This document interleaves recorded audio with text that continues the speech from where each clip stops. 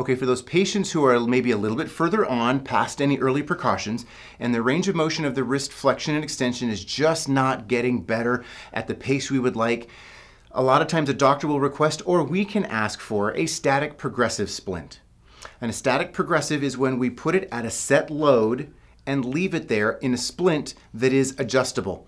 Dynamic is when it's a rubber band tension, so as they improve, it improve, it, it, continues to have some tension. Static is you put them under load, and if they relax into it, they would need to then advance that further. So it's a static load. In this case, we'll use some monofilament, but we're gonna make this splint and kind of show you eh, kind of a quick and easy way to make it. You can order them from companies like Dynasplint or Lance Medical or some of those that are uh, prefabricated or an off-the-shelf version that they kind of customize. Those are dynamic versions.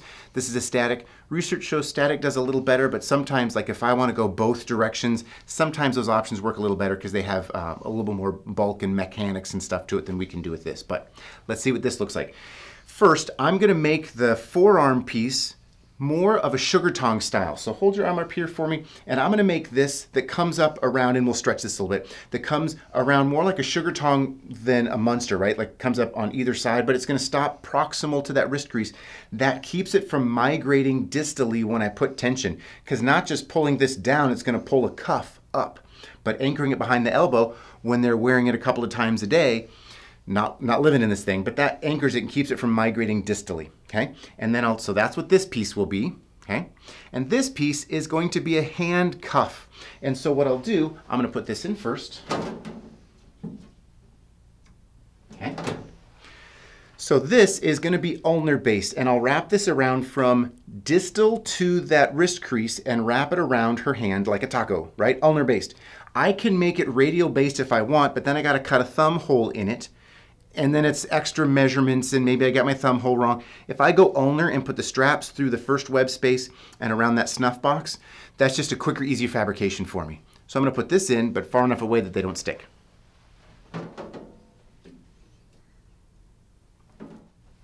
Okay, we've pulled it out of the heat. I'm gonna let it cool a little bit, and then I'm gonna put it under her elbow and draw it up. And you can see I got a little stretch with this, so I can kind of keep it up there. I want to make sure it's under that volar wrist crease, and I'm going to come along and just do some tags, just to make sure it follows the contour of her forearm, okay? And I want to keep her forearm in, excuse me, her elbow in a 90 degree angle so that it captures this well. If the patient starts to drift out, it, it can still migrate out as it travels past. So we'll wait for this to cool enough that I can unsnap it. If I pull too early, um, it stretches and, and, deforms a little bit. Also, I didn't put a black sock on her for visibility so you guys can see what we're doing a little better, but I would always put a stockinette on a patient just for their comfort with the heat, but Miranda's tough, she's used to it. All right, so now that's cooled all the way, I can untag it and pull it off.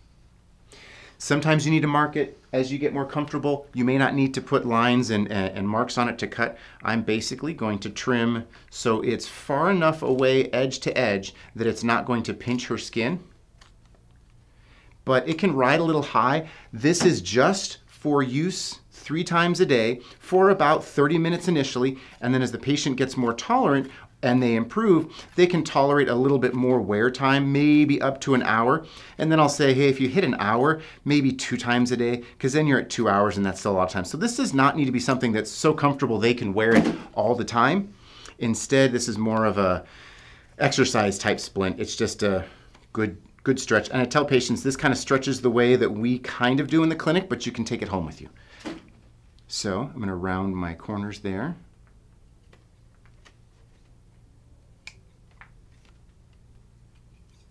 Okay, let's see what that looks like on her again. So I pull this up here and I've got a good amount of space so it's not going to pinch her skin. Same thing here, a good amount of space there, and we'll put some straps on there, and that will hold that tight. But I hold off on my straps because I'm going to have a line of pull down here that I'm to make sure I don't block by putting straps across. Let's make that hand piece next though. Okay, so now we're going to make the hand cuff. She's gonna come back up here again. And again, I'm gonna stay past that wrist crease and I'm gonna come tag it through that web space and then again down here, kind of around that snuff box, just a little tag down there.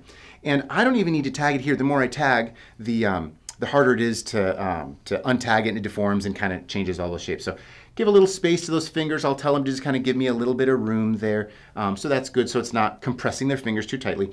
We came up to about the level of the PIPs and I can kind of pull that a little bit more so that I can take my monofilament line and pass it through a hole in the front and a hole in the back. That gives me a more distal line of pull than if I were to anchor something down at the palm or the back of the hand. This also allows me to take something that is a flexion load, take it around and make it an extension load because it can go either direction as it loops through. So that's kind of a nice option to have. I could go all the way out to the fingertips, and if we make a line of pull in flexion, that comes from further out that gives me a better moment arm, a better leverage force on there than if I do something at the palm. It kind of ends up using a little bit more material. It gets a little bit less comfortable on the patient. So we kind of made this one just at the level of the PIPs. It kind of functions the same. There's some, you could argue that it should be further out. It's kind of a personal preference as a therapist. But now that that's done, I will untag this Okay, take that off and we're going to trim that one down too. Again, didn't necessarily need to make lines on there. I'm just going to follow the general kind of contour of that. And I like to cut where I'm not leaving the jagged edges of the holes super visible there uh, or on the edge so that even if I don't put a line there or an edge there, it doesn't, um, it's not a, a jagged point for them. And sometimes even the edging, you can feel that jaggedness through and I don't want to do that. So I'm going to cut that right at the level of that hole there, okay? So let's see what that looks like on her again. Okay. So that's past the wrist crease. We'll put a strap here, a strap here, and we'll put the forearm piece on. Let's see what some of those straps look like. Okay, so we've got some straps on it now. Let's kind of see what we've got. Because it goes around the back of the elbow, I don't have to do a ton of strapping. I have two straps, proximal and distal forearm. You can see I put dots here instead of going a continuous strip. We like to do that, but in this case, I need this that is a sticky back loop that goes down the center.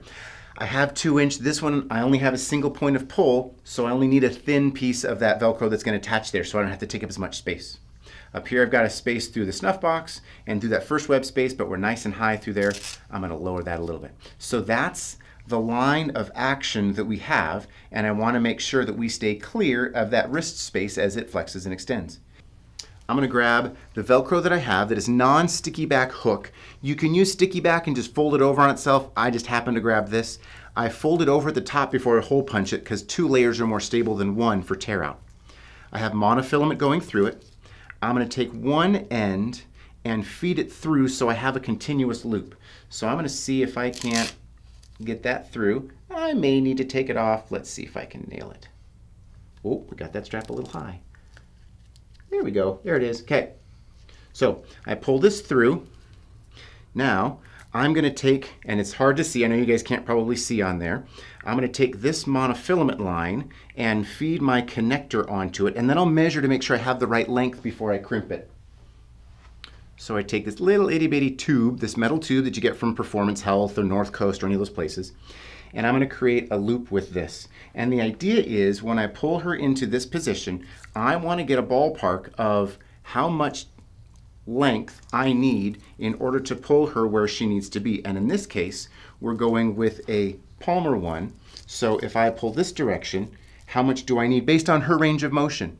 So I may need about right there. Well, I want us to have room to grow, so I'm not gonna set it down here. I'm gonna pull it up a little bit, and that's where I'll crimp it. So I'm gonna move it down, and I have the patient hold still. You can take it back off to crimp it. Again, Miranda's tough. She knows how this works, so she's okay with that. So I just take a pair of pliers and crimp that down, and then I'll take and cut those off and throw those away.